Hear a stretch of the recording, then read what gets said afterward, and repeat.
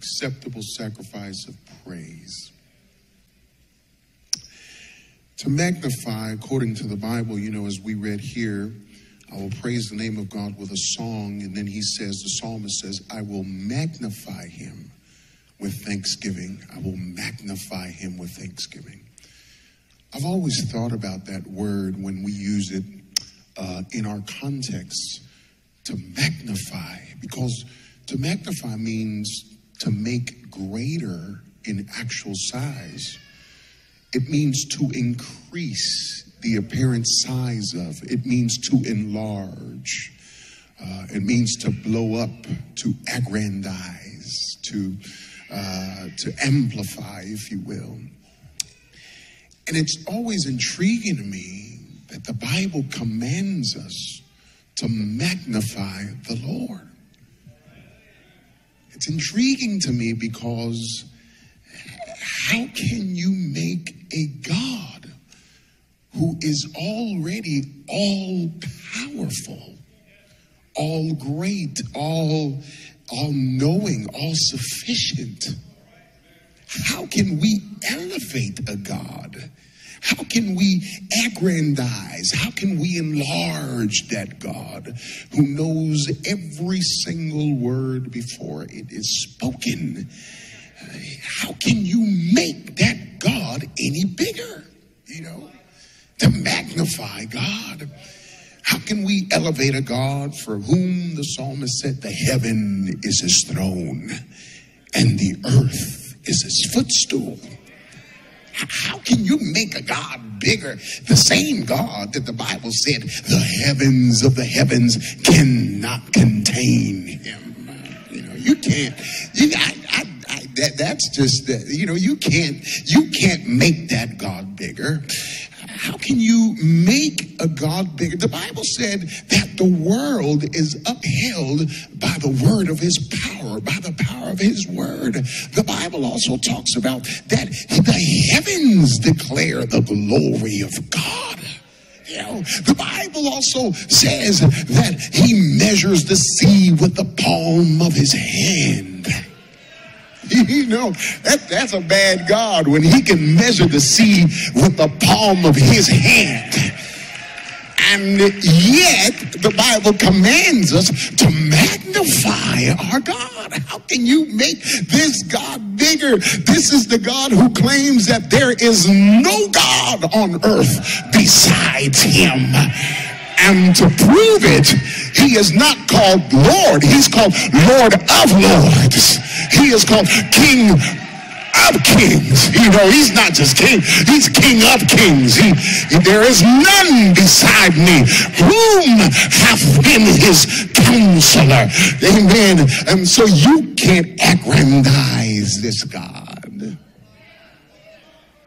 How can you magnify this God? How can we make this God greater than what he is? When we consider our own lowly estate, like the psalmist also did, uh, then we can only exclaim like the psalmist did, when I consider thy heavens, the work of your fingers, the moon and the stars which thou hast created, he said, I have to ask myself in view of all of this magic majesty that you have created, then I've, I've got to ask myself, what is man that thou art mindful of him and the son of man that you would visit him? He said, what am I that I would even be able to enlarge you, magnify you, make you bigger? I can't that. You are all big. You are all powerful. You are all no, you are omniscient. You are omnipresent. You are omnipotent. These things make you God. I cannot even dare to even think or assume and presume that I can enlarge you. However, over and over again in the scripture, the Bible invites us to magnify the Lord. Oh, magnify the Lord with me. And he doesn't stop there. Let us exalt his name together. you know, how do you do that? Well, uh, uh, we can't make God any bigger. We can't make him any stronger. We can't elevate him in rank and in honor, in position and power and character and knowledge and quality. We can't do any of these things. So there must be a way that we can magnify God without changing who he is. So, to better understand what the psalmist is inviting us to do, it's best to distinguish the two ways in which you can magnify something. See, number one, the way that you magnify something is to make something appear larger than what it presently is. That is through a microscope, you know. If you ever taken a, a, science class of some sort, you know that a microscope enlarges the actual size of a micro being or micro element so that we can study it and, and we can study its most minuscule element and we can see it through that microscope. And what that microscope is doing, it is enlarging the image so that we can see it bigger than what it actually is. But there's a second way that you can magnify something. And the second way to magnify something is to make something that appears to be small in our sight to be magnified so that we can see it in its actual size. And the way that we do that is not through a microscope, but through a telescope. Let me explain. A telescope does not magnify a planet. All right. A telescope does not make the sun any bigger than what it already is. When you look at the planet, you look at the star, the sun, there is a million planet Earths. If the sun was hollow today, in, in that star, there is a million planet Earths that can live inside of the sun today. That's how small we are. That's how big the sun is. So, baby, you are not magnifying the sun when you're looking at it through the telescope. You are not magnifying a planet when you are looking at it through the telescope. What you are doing doing is you are making something that is already all big, all you know, it's already in its actual size. What you are doing is you are trying to see it in its actual size. You are magnifying not the planet, not the star itself. You are magnifying your sight of that planet. All right.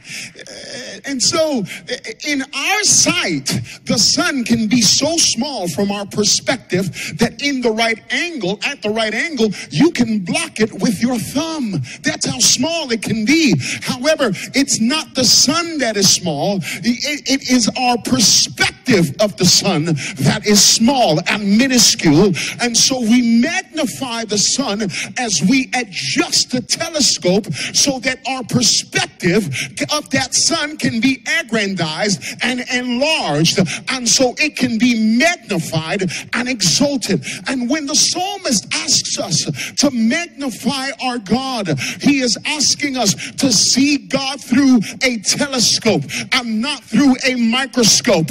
What he is saying is, in other words, to magnify God, it means to make him as large as he already is, that you have not yet seen him. He's saying, magnify God, adjust your lens so that you can see him as he already is. You're not making him any greater, but what it is is all of a sudden you're getting a whiff that God is great, that God is mighty, that God is powerful, that God, and now whenever you see his glory through the adjusted lens, You'll say, My God, eyes have not seen, ears have not heard. I had not even, I had not even imagined that you could be that big. And now I've got to sing with the rest of the world. How great is our God! You are are great. You are great. You are awesome. You are mighty. You are. This is who you already are. This is what you are. You are being revealed. I'm changing my perspective. My perspective is being magnified. God. When you magnify God, it is not a praise that wishes to change his size. You cannot change the size of a man who measures the sea with the palm of his hand, but it is a confession. It is a confession that my view of you is much too small.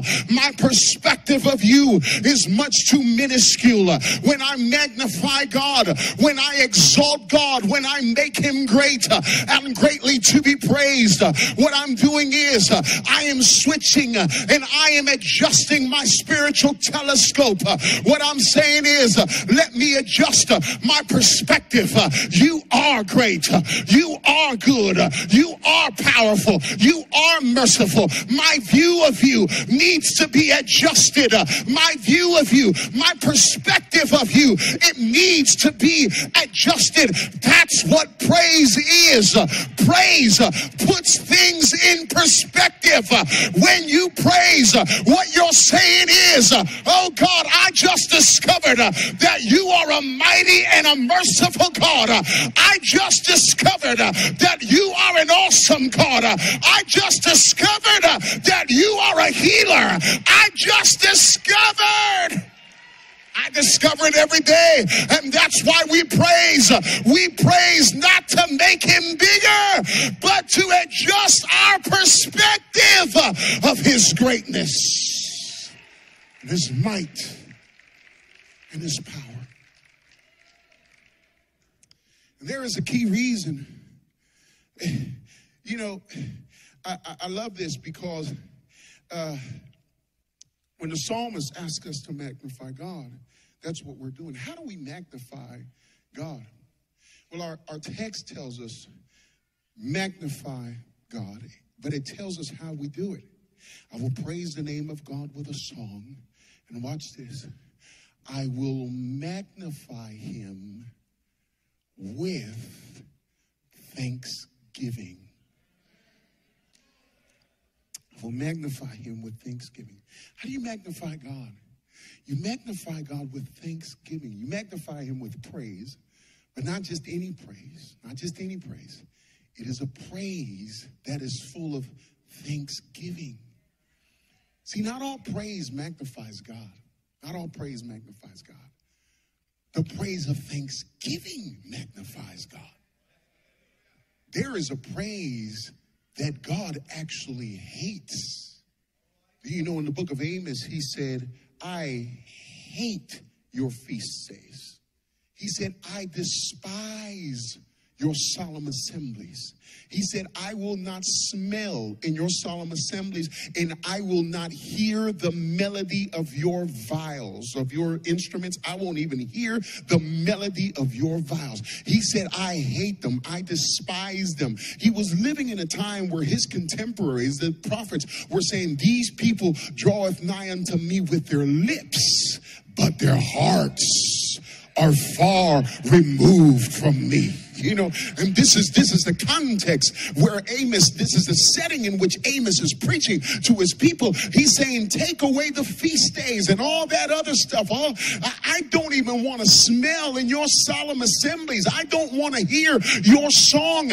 I don't want your praise. I've got angels baby. I've got I, have got holy angelic beings. If, if all i needed was praise and singing i've got i've got angels that can sing in a perfect pitch all the time and not lose sight of key. I've got angels that can do. I've got angels that are up there going, holy, holy, holy, holy. I don't need your voice.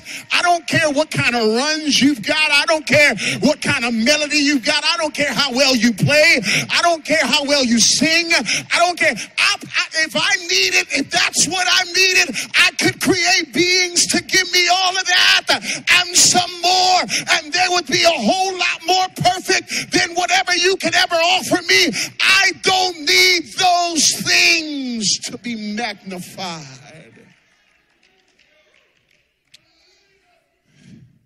And so, why does Thanksgiving magnify God? Why does Thanksgiving magnify God? Well, if you've ever been mad at somebody, if you've ever had a sibling, you know that uh, there's going to be some times, you know, that that that's going to cause some uh, some some wars of sorts.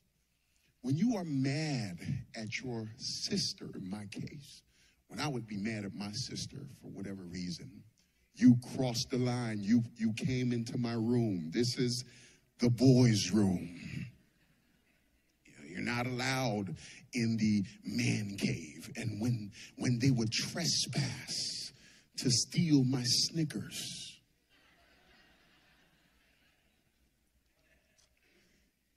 Did I remember uh, back in the day, we would, uh, my dad had a, a, big old blue station wagon, and we would have eight tracks in the station wagon. And, uh, and, and they would make us sing together, and they would make us, you know, uh, uh, we would we would have to mind our manners with each other. But I remember that when I was mad at my sister and my dad would, I, I would hate when I was mad at my sister when she would do something for me, something nice, because then it meant that I had to say thank you. I, I hated that. I hated when dad, when my mom or my dad would look at me and say, What do you say? And then I turn to her and go, oh, Thank you. I would mumble. I, I, I, couldn't even get the words out. Do, do you know why I could not say thank you to someone I was offended by? You know why? Because Gratitude is a compliment.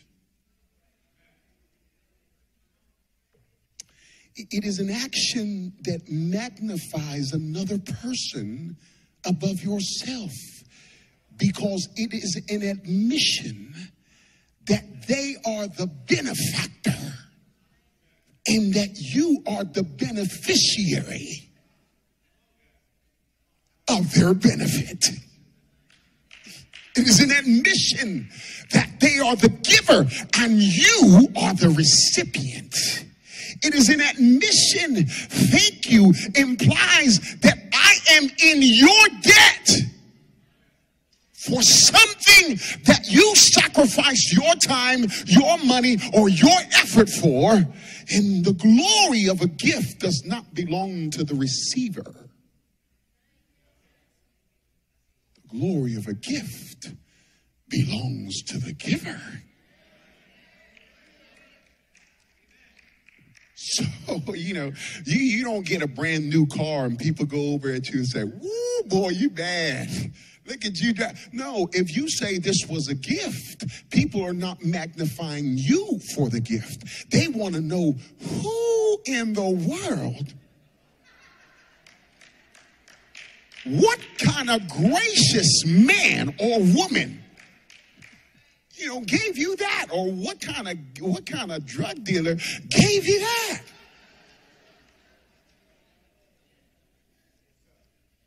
You're not you're not trying to find out who the recipient is. You want to know who the giver is. Because the glory of the gift belongs not to those who receive the gift, but to those who give the gift.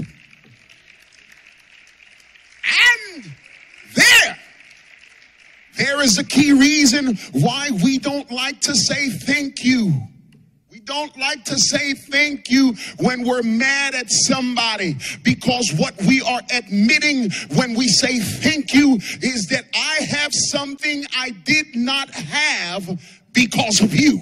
You gave me something. You did something to me. I am in your debt now because you provided something that I could not provide for myself. I am the recipient. I am the beneficiary. You are the benefactor. It magnifies you. It exalts you It makes you great.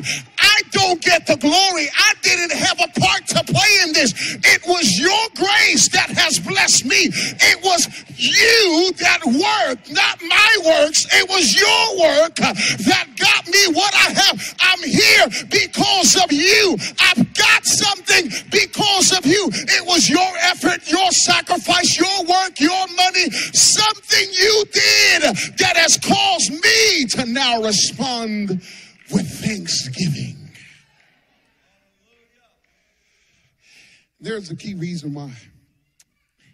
We don't like to say thank you because it makes us weak. Makes us weak because we hate to be in anybody's debt.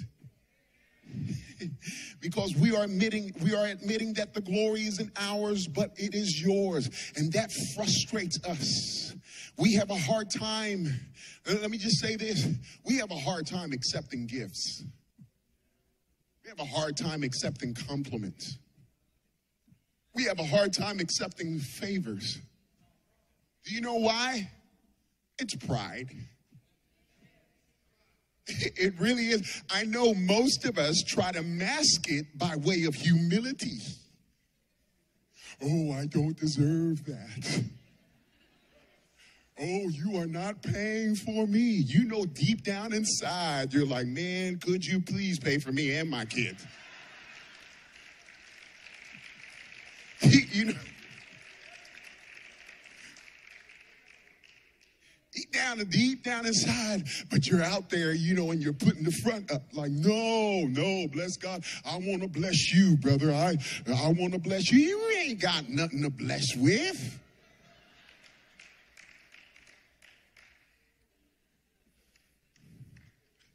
What, what it is, is we don't like receiving because then I am in your debt. And so Israel thought, you know, they were happy at first when God instituted feast days and solemn assemblies and sacrifices because they thought, oh, great.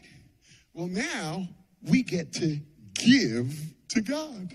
You know, uh, Israel thought they were doing God a favor by offering something to him. And so they enjoyed being elaborate with their praises and their gifts and so forth.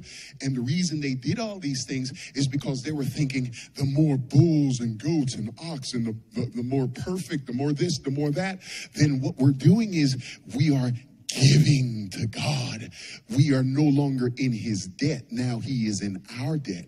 If we give to him, he has to heal us. If we give to him, he has to make us a powerful nation. If we give to him, he has to bless our families. If we give to him, he now is in our debt. And you know what the Lord responded with? He said, I will send a curse over you that will chase you, that will approach you, it will reach you, not only to you, but to your descendants until you be destroyed. Because when you sacrificed unto me, you didn't do it with joyfulness of heart for all the things that I have done. But don't we do the same today? We do the same exact thing. And listen, I'm going to include my, I'm going to be really honest with you. I've got to include myself in that number because I've done it a lot, you know, a while back. You know, before I read the Bible, I used to preach. I had never read the Bible. And uh, before, I, I, I, can't lie to y'all, but um, before I read the Bible, I, uh, I used to preach, and the way I would preach was like, you know, praise him for, and then whatever, you know, we're praising him for. Praise him out of your, you know, if you praise him, God will do such and such. If you praise him, God will provide. If you praise him, God will do this. And I didn't realize that's not only not true and dishonorable, that's sacrilege. You know what we just did? We just reduced God to Baal. That's what the prophets of Baal did.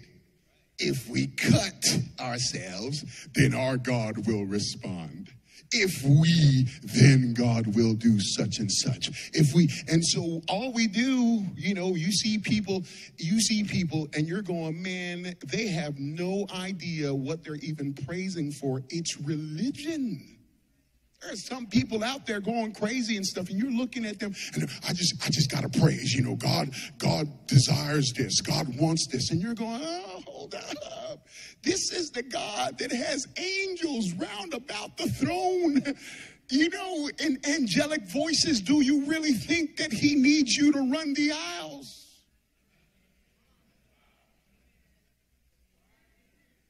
Do you really think that when you now now bishop i'm gonna fix this.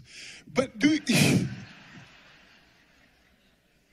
do, do you really think that god needs you do you not that, that's what paul told the church in athens that or the the unbelievers in athens he said the god that made the heaven and the earth does not dwell in temples made by, by man's hands, neither is he worshiped. One version says served, another version says worshiped. the same exact thing, worship and service. But he said, neither is he worshiped by man's hands as though he needed anything.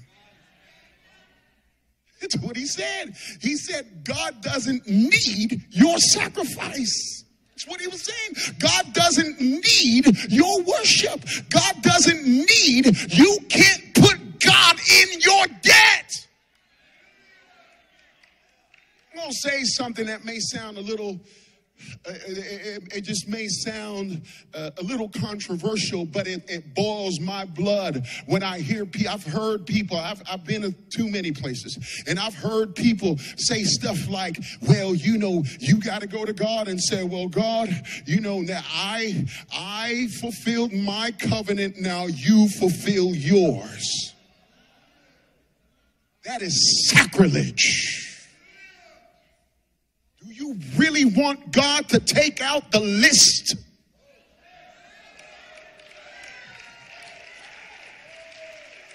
Just because you fulfilled the law in one point? Well, God, I've been faithful with my tithe. And God is saying, but you haven't been faithful with your sex life. And let me give you, let me give you a thousand more things that I can come against you and say you haven't been faithful in such and such and such and such. You are a liar and a cheater and an adulterer and a fornicator and you've got pride and he can come down the line on you and say you did not fulfill your promise. There is none righteous. You can't put me in your debt, baby. Well, God, if you bring me out of this one, then I'm going to serve you. And so God is up there going, woo, finally, you're going to serve me now. I can finally go to bed in peace.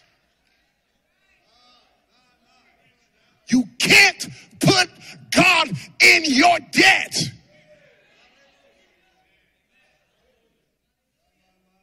It's what Israel thought. It's what we do today. We praise, and through that, we assume that we have placed God in our debt. And that's religion. It is not honoring, it is sacrilegious. And you know what our, our text says? It says, I will praise the name of God with song. Praises are not wrong, they are commanded. They are eh, that the people have invited you to do so. I'm going to tell you, that's why you will have a hard time. I'm going to, I'm going to be honest with you. You will have a hard time looking in the scripture where God demanded praise. It is not God who demands praise in the Bible, it is people who invite you. Let us praise the Lord together.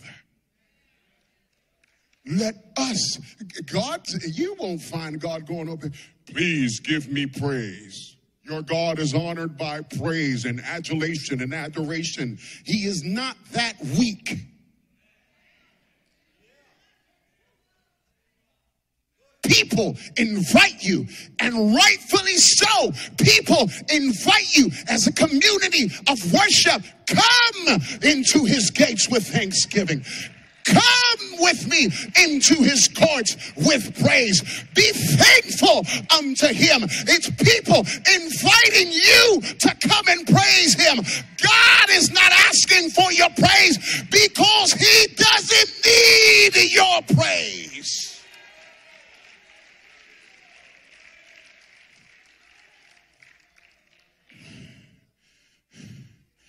Uh, what is our text? say? I'll praise the name of God with a song. And then he says, I will magnify him with thanksgiving. That is, when I praise him, I'm going to be praising with a heart of gratitude, not for you know, I'm praising him, putting him in my debt so that he could give me something. I'm praising him because of everything he has already done for me. Don't you get it? If God didn't do one more thing for you, he's already done more than enough. He's already done way more than you ever deserve.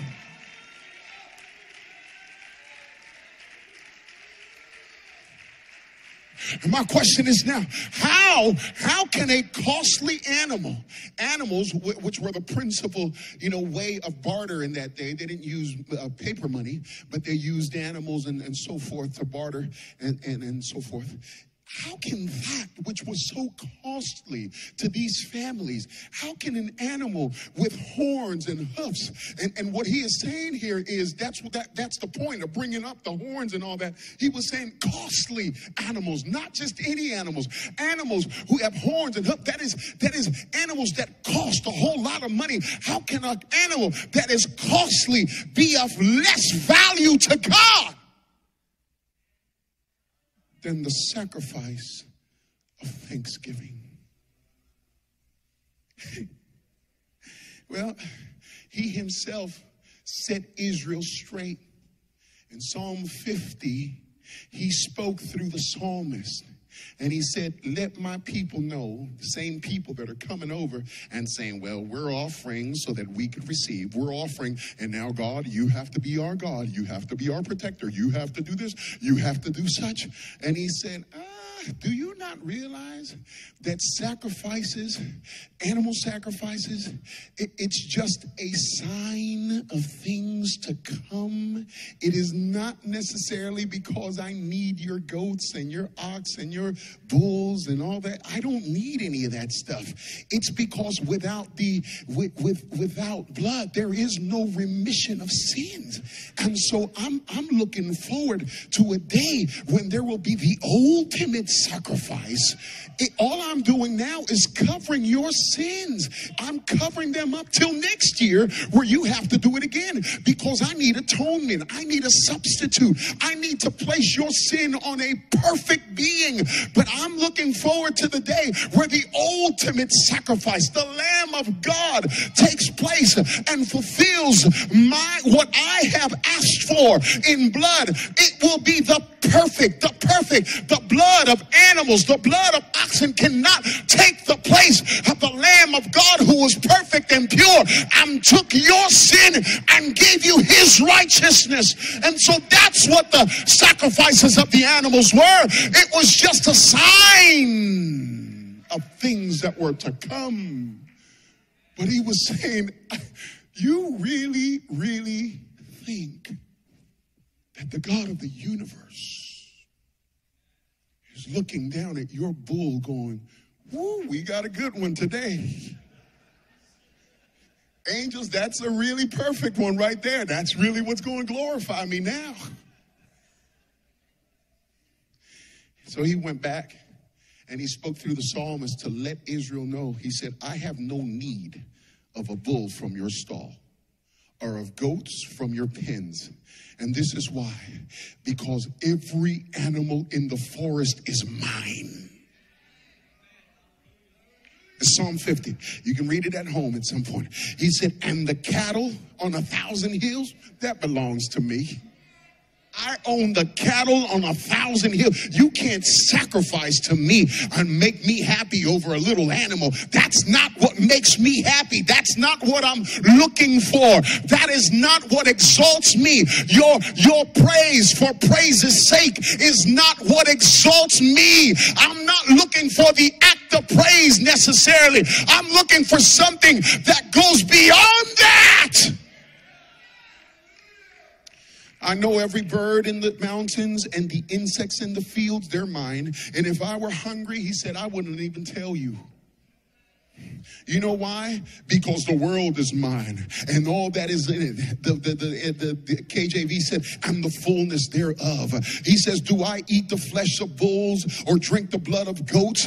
He said, No. And watch this. He said, The sacrifices of God are thanksgiving. Thanksgiving. Fulfill your vows to the Most High. What sacrifices I'm going to accept is the sacrifices of a heart that is full of thanksgiving uh, because when you are thankful, you are admitting, uh, I am the beneficiary and you are the benefactor.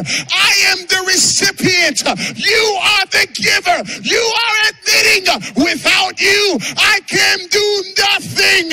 I can do nothing of my own. I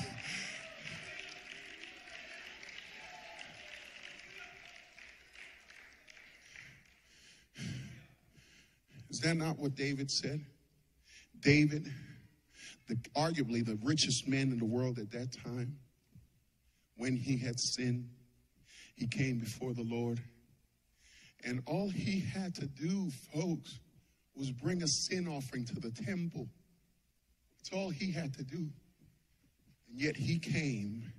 David was not just a psalmist and a king.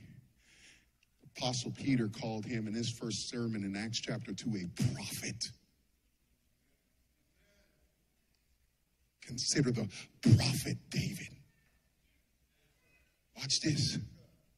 David saw things way beyond his years. And David said, um, You know what? I have sinned. I messed up.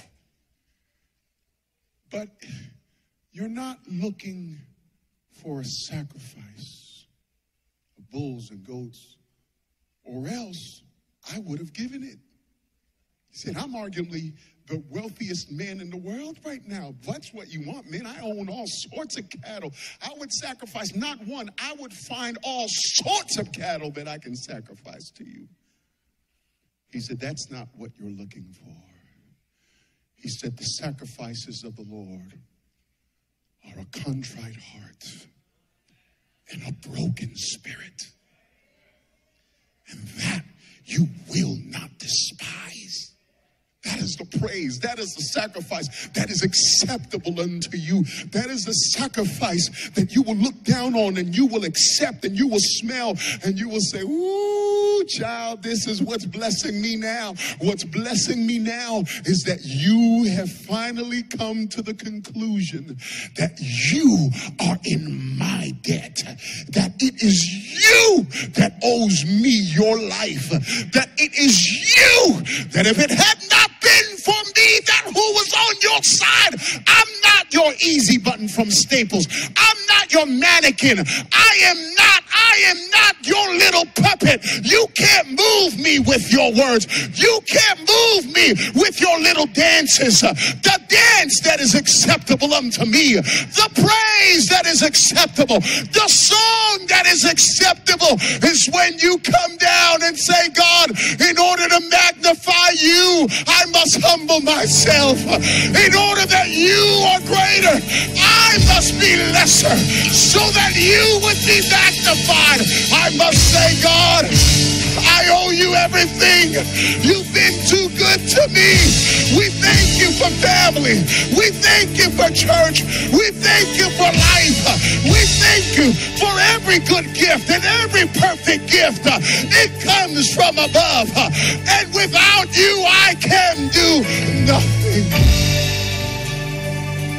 Would you lift your hands all over this building right now and offer up the sacrifice of thanksgiving?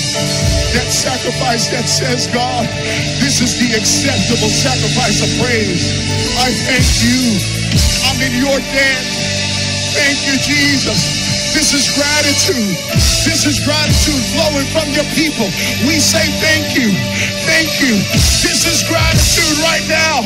When we give of our offering, we give it not to get, but because you've been so good. I and what are my people that we should come with this offering to you? Lord, we give you what we have received from your hand. You have given to me. You love me first. It is you. I'm thankful. Is there any thankful people in this house tonight? Is there any thankful people in this building that can say, Thank you, Jesus? I don't deserve what I've gotten. I don't deserve what you have given me.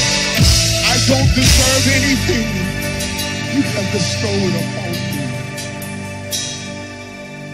I end, I end this, and uh, you know, we can all come to this altar at some point. But if you're in this house and you still don't know Jesus, I'm telling you, I'm telling you, you are in God's debt.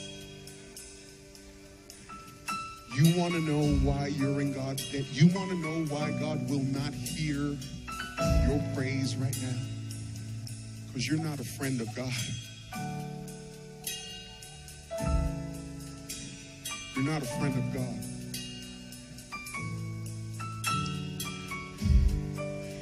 If you have not placed your full faith in Jesus Christ, if you have not acted out that faith through repentance and water baptism in Jesus' name for the remission of your sins, if you have not followed according to what the scripture said, called him Lord and believed in your heart that God raised him from the dead,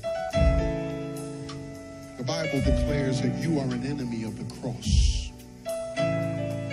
Bible said you are justified by faith, and only when you're justified by your faith, you have peace with God. Before you are ju- before that faith, you don't have peace with God. You are at war with God.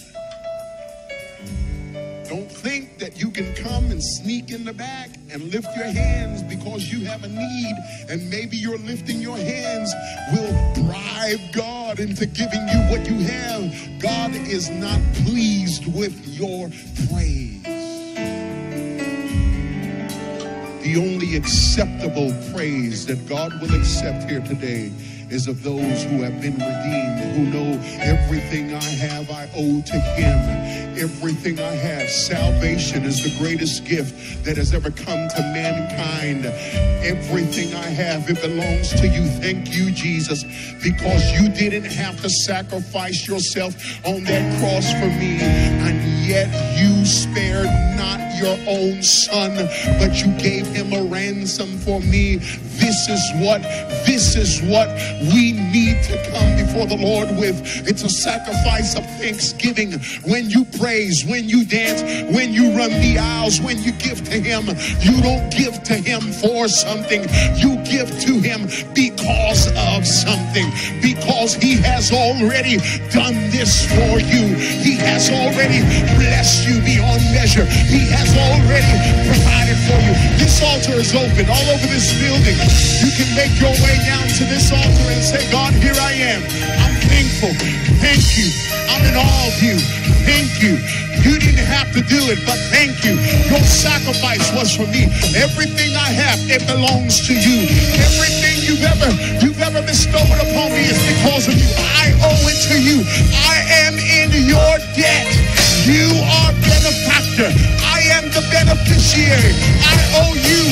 Thank you